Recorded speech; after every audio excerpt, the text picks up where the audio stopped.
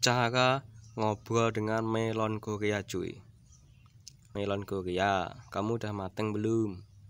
Udah bang. Nah itu udah jawab kan? Ya udah.